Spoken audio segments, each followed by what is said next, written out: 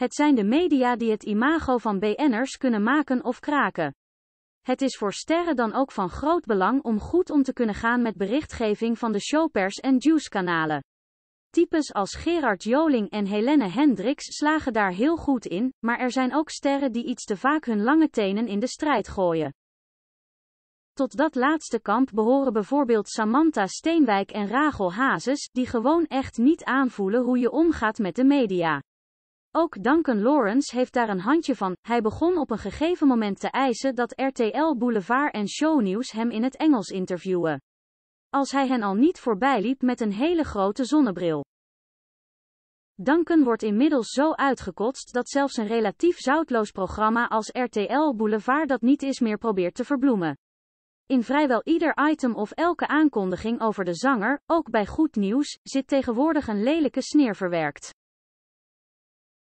Van de week was er een itempje over Duncans bruiloft en bitched presentator Eddie Zoe. We kennen Duncan Lawrence en zijn vriend Jordan Garfield van de iets wat aanstellerige interviews die ze rondom het Eurovisie Songfestival gaven en die ze alleen maar in het aanstellerige Engels wilden doen, maar vandaag valt er iets leuks over ze te vertellen.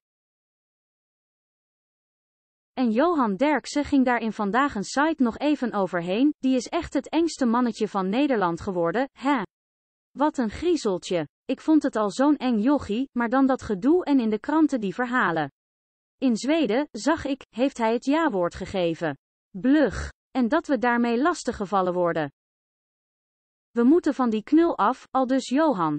We hebben eerst Geer Goor gehad, waarbij een van de twee helemaal gek was, toen hebben we de familie Hazes gehad en nu hebben we dat schandknapje met dat hoge piepstemmetje. Nu is Duncan weer in het nieuws omdat hij een peperduur appartement in Amsterdam heeft gekocht. Opvallend genoeg werd dat nieuws gisteren wel vrij neutraal gebracht in RTL Boulevard.